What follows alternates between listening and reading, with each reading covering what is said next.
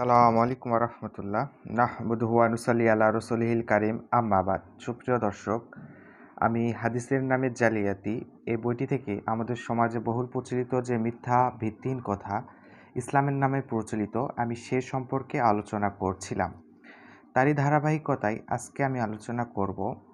আমাদের সমাজে বহুল প্রচলিত একটি জাল হাদিস যে বিবাহিতের দুই রাকাত, অবিবাহিতের সত্তর রাকাতের সমান হাদিসা নামের জালিয়াতির এই বইটির ছয়শো চুয়াল্লিশ পৃষ্ঠায় এই জাল হাদিসটি আসছে যে, অবিবাহিতের সত্তর রাকাত অপেক্ষা কেউ যদি বিবাহ করার পরে দুই রাকাত সালাত আদায় করে, অর্থাৎ যারা বিবাহিত তারা যদি দুই রাকাত আদায় করে আর অবিবাহিত সত্তর রাকাত আদায় করে, তার বিবাহিতদের সালাতি উত্তম।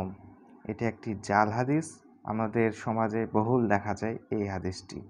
এবং এইরকম আরও জাল হাদিস রয়েছে যে অবিবাহিতের বিরাশি রাকাত অপেক্ষা বিবাহিতের দুই রাকাত উত্তম। লেখক বলছে, কোরআন ও হাদিসে বিবাহর নির্দেশ দেওয়া হয়েছে এবং বিবাহের ফজলত বর্ণনা করা হয়েছে। কিন্তু এই হাদিস দুটি জাল ও বানোয়াট। লেখক রেফারেন্স টেনেছেন।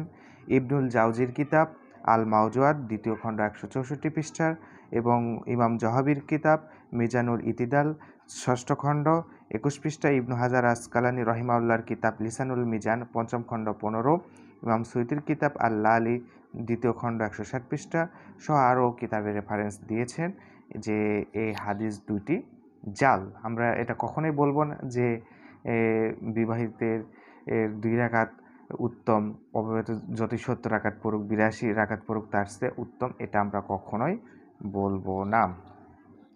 সবহানাক আল্লাহুম্মা বিহামদিকা, আশহাদু আল্লা ইলাহা ইল্লা আন্তা, আস্তাগফিরুকা ওয়া আতুবু ইলাইক। আসসালামু আলাইকুম রাহমাতুল্লাহ।